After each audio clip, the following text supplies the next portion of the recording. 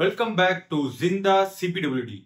So today we are going to talk about SOP, Standard Operating Procedure for CPWD Works Manual 2024.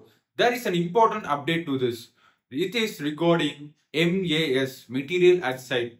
As you know, in ongoing works and every CPWD contracts, there is always a Material at Site register always maintained through the process and that register before it was maintained as a book as a offline book and now in new ERP system they are bringing that into the online but the procedure didn't change so whatever material is bought to site by the contractor has to be registered in that particular register so if a work is happening a site register is maintained and MAS material at site is a part of that. So what what material has to be registered in that? It may be cement, steel, paint, adhesives or even chemicals. So whatever material which is insisted by the NIT approving authority, that material has to be entered in that MAS. So this is about material at site. So this is maintained mainly because to that is for quality assurance. So what's the update is the quality assurance has been taken to the next level.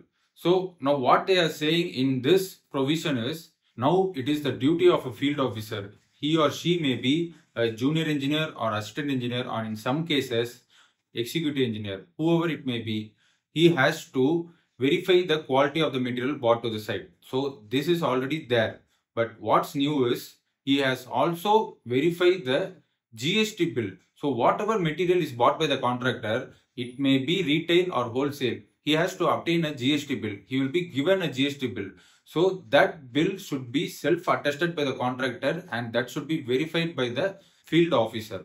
So moreover, if he has some doubt in it, he can inquire about it and verify it further. So it is the duty of him to keep a copy, copy of it.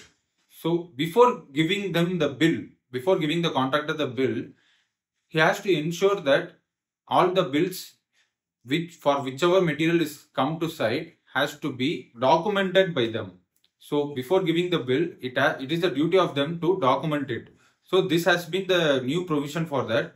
And moreover, uh, what about the genuineness of the GST bill? So each and every bill cannot be verified by them. And that is that is also stated in this provision saying that the genuinity of the bill is in the hands of contractor only. That can be nothing done with that. So this is the new provision brought to the SOP and for CPWD Works Manual 2024.